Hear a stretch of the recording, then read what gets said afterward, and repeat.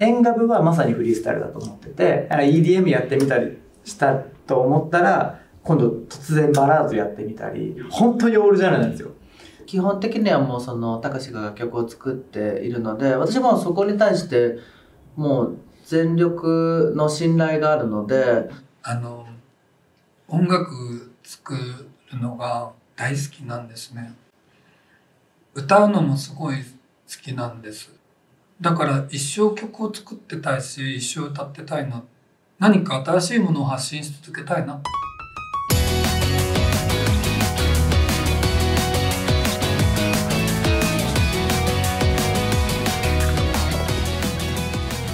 今回のそのテーマとして、まあ、後悔っていうところを、まあ、あの、一つのコンセプトにしてアルバムを作る、作りたいみたいなことを最初に言われて、なので応援してくださってる人が縁側部号というものに乗り込んできてくださってチームができてスタッフがいてっていう大きな船になってってだから後悔っていうワードが出た時にこれはもう縁側部の元々のテーマを映し出すような作品にしなければならないってすごい思って。私たちのその YouTube のあの動画で手紙っていう動画があるんですけど、まあ、そこで私がその2人メンバー2人にその送った言葉であの縁ガブっていう船は随分大きくなったみたいな表現をしてでそういう最初のイマジネーションだったりとかは私からこう受けてくれたりとかもともと豪華姉さんは神ちゃんのワードから生まれたりとかだから本当にその3人で作っていくっていう中で、まあ、どんな後悔になるのかなっていうと。でもミニアルバムってことは決まってたんですね。だけどミニアルバム8曲とか7曲じゃん収まらねえなと思って。でもミニアルバムなんですよ。なんだけど後悔っていうテーマでミニアルバムっていうのはちょっと私の中ではないって思っちゃって去年の段階でアルバムにしたいんですフルアルバムにしたいんですって言いたかったんですけど言うだけじゃ伝わらないと思って10曲ぐらいのデモを作って渡したんですね。聞いてみてくださいってこういう風にしたいんですみたいな。私の場合曲作る時はタイトルから作るんですね。そのワードで世界観を広げていくっていう感じの作り方をするので一回作ってみるんですよ。これで OK ってなるときは速攻フルコーラス作るんですけど、なんかしっくりこないなって一回ハマっちゃうと、一回そのアレンジでワンコーラスで自分の声も入れたものを、ひどい時は2、3ヶ月ぐらいずっと聴き続けるというか、寝かせる感じで、で、何か違うんだろうって自分で自分の曲研究して、どこがどうしたかったのかなみたいなことを自分で対話してからもう一回作り直すっていう作業を繰り返していくので一曲一曲にかかる時間は結構あってかかるんですけどうん。なのでどの曲も等しくなく結構時間かかってるかなっていう。やっぱり創造者だからそういうところまで突き詰めてるところをなんかフォローしてあげたいしみたいな感じがあるのででもその中でもやっぱり彼は本当にもう類まれなる今まで本当に類に見たことないなっていうぐらいすごくこう突き詰めるというか掘り下げるというかそういうところすごく尊敬してますねやっぱりね。あそこまでやっぱり掘り下げることによって生まれる楽曲だったりとかイメージだったりアイディアだったりがあるんだなみたいなのを感じるのでこの配信の時代になって何が変わったのかなとかやっぱり CD の時代は自分が買いたいと思ったものを買わなければ聞けなくってでやっぱりその子供の時代だったのでお金もそんなにないって中で全部買えないからじゃあどれを買ってどれを友達に借りるかみたいなことをやってて本当に月に1枚買えたら嬉しいみたいなってなるとその CD をもうずっと聞き込むわけじゃないですか。でだとやっぱりその一個のフレーズだったりとか一個の音に対してのこう聞き込み方が全然違うからよりその曲に対して感情移入できたりとか今でも思い出せる曲になったりとかっていう。私がそのすごい曲を作ってる時にこだわってるのは誰かのそういう一曲になれればいいなっていう思いがまず根底にあって目に見えない流れていくなんか時代にこうこびるよりもなんか普遍的に変わらない人の気持ちを優先したいなっていうのがあるので自分の気持ちだったりとかメンバーの気持ちだったりとかっていうのが動く曲をまず書こうっていうのが一番のこだわりです。最初の多分視聴者、一番最初のリスナーだと思うんですね、私とカミュが。だからその、まあいろいろこうデモを聞かせてもらったタイミングで、まあ新たな本当にまたその演歌部らしいジャンルレスな感じの楽曲たちが集まってきて、すごく本当にまるで後悔してるような、すごく世界旅行してるような、やっぱりそこがまず一つその制作段階での、まあ、印象的だったところ。本当に結成当時のまだ2人のことを誘ってない時にデモを作ったんですけど人に聞かせるために。なんかその時期のことを思い出したりとかしてなんか初心に戻った感じがして2人にまずプレゼンするために曲を作らなければならないみたいな。でもともと私すごい自分に自信がないので曲を出す時もこの曲でいいのかなってギリギリまで思ってる。心の中ではすごくこの曲最高にいいと思ってるんですけど果たしてそれがじゃあ他人が聞いたらどうかっていうところにいまいち毎回自信が持てなくていいって100回ぐらい言われないとちょっといいと思えないみたいなところがあるのでそのキングレコードのスタッフの方に「それでいいんです」なんか今のままでいいんですって言われた時に逆に不安にもなって今まで売れてなかったからこのまま好き放題やってたら普通に売れないままなんじゃないかみたいな。やっぱり初めお金にならないから。で経費もその時なかったからそれぞれ割り勘で出し合うみたいな。その YouTube のやっぱり数字は回らない。でも動画は毎週撮るのに時間を使わ使う。リハでスタジオ代もかさむっていうのでもういつも一歩進んで二歩下がるっていう感じでそこでまた話し合うみたいな。明日生きてくお金じゃなくって5年後10年後食べれるようにしたいのっていう話を何度も何度もして。だから今辛いかもしれないけど必ず必ず生活できるようにするから耐えてって言ってずっと言い続けて。私も自信がないままにただ自分が自信持ってないと2人がどこを見て歩けばいいのか分かんなくなっちゃうから必死で自信あるふりしてその時はすごいもう不安しかなかったし、もうダメかなみたいな。そこで、もう今でも忘れられないのが、やっぱりさすがリーダーだなと思ったのが、結構、ちょっとそういう行き詰まりそうみたいな時に必ず口癖のように言ってくれてたのは、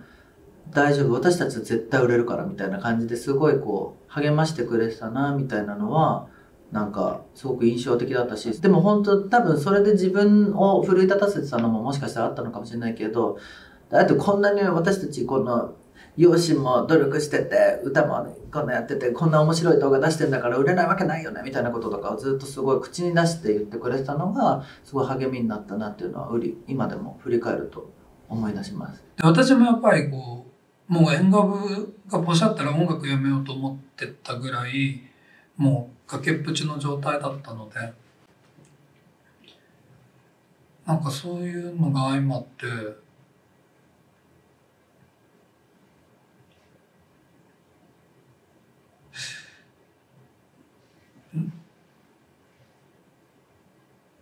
なんて言えばいいんだろう。幸せにしてあげたいなと思ったんですよね。多分2人は1人で生きていけると思うんですよ。まあ私も含め大人だし。なんなんですけどその時すごくあの2人の人生をな2人が満足いくようにしてあげたいなっていう気持ちがすごく強くなって。で音楽でとかそのエンターテインメントで5年後も10年後も人生生きていけるようにしてあげたい。自分がそうでもないくせに。なんか3人でそうなりたいっていうふうにすごく強く思ったので。あの人は優しいの。あとねちょっと無理しちゃう。今後もね多分高志がね無理していく時があるかなと思うんですけど、まあ、そういう時にちょっとでもなんか緩和できるように自分が動けたりとかしたらいいなと思って。まあ、結成してから数ヶ月後ぐらいに一回ちゃんと話そうって言って私こういうつもりで思ってて2人のことをこの縁側で食わしていけるようにしてあげたいしだからもう一回考え直してほしいんだよねって。だからやりたくないんだったらもう今やめた方がいいしやるんだったら腹据えてあの趣味とかじゃなくって本当にこれをメインで考えて一回本気でやってみたいんだよねって言ったらなんか悩むかなと思ったんですよ2人が。そういう重い話したら。そしたら結構2人もやっぱり考えてくれてたみたいでもうその時に腹くくってくれてて「やります」って2人とも言ってくれて。そっからなんか本気で3人ぶつかり合うというかあの腹割って活動するようになったっていう。でもなんかその時期があるから今こうやって3人で揺るがなくできてるんじゃないかなって思ってます。いや本当に一個一個そのなんかもうそういうことが起こるたびにあなんかいやだもう涙出ちゃいそう すごいなんかこう報われたなみたいな風に思う瞬間は実は結構毎回あってそうやっぱりそのメジャーデビューさせてもらえたのは一個すごい嬉しいきっかけだったしうん。なんかあのツアーとか回らせてもらってる時も頑張ってきたご褒美だなって思ったりとかするしやっぱりなんかそのライブしてその皆さんの笑顔とかを見るとやっぱり制作中大変だったり YouTube 大変だったりとかするんですけどすごいたった2時間でそれの努力みたいなのがすごい全部報われたりするから本当なんかだから逆にこう下積みが長くてよかったなというかその時辛かったこととかが今なんかその喜びに変わるから、うん、だからなんか本当にそういう瞬間瞬間に、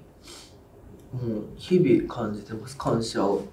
メジャーデビュー以降変わったところは多分目指す先がさらに大きくなったっていうのとその大きくなるにつれてあの人がすっげえ増えたライブに関しても撮影に関しても昔はもう3人とスタッフ1人とかでやってたところがスタッフが1人2人増えすごい仲間がどんどん増えてる感じはします。なんか夢物語だけで終わらずにそれを現実にするためにどうやって動くのかっていう話ができるっていうのがメジャーになってから一番変わったかなっていうところです。若い時にささらっとメジャーデビューしました。アイドルの子たちがイエーイみたいな感じになってるのを見るともう何クソって思うんですよ。でそれで簡単にやめやがってみたいな。ふざけんなみたいな。そう私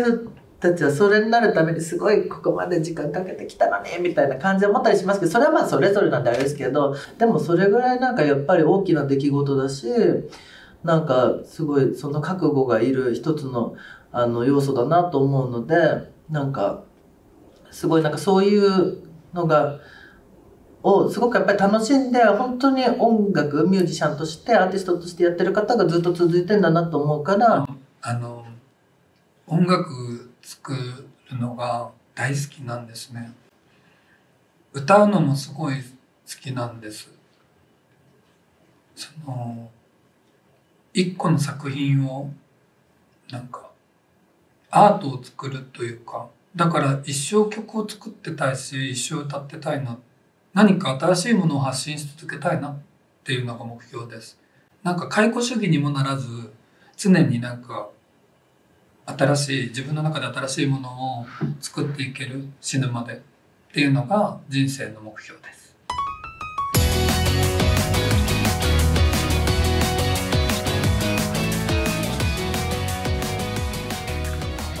どうも、えーこちらが私たちがいつも YouTube 撮影をしている、えーアンダンテというお店になります。えー今日は、えーお店をお借りしているので、入ってみたいと思います。どうぞ、こちらです。こんなになってます、中。普段は3人が、ここにす、ここに座って、で、カウンターの方にカメラを置いて、で、こういう感じで撮影をしています。オーナーのじゅんさんが、すごい応援をずっとしてくださっていて、この素晴らしい祭壇を作ってくださっています。あ10万人を超えた時の、その銀の盾と言われるものは、えっ、と、3人で話して、ここでと撮っていたので、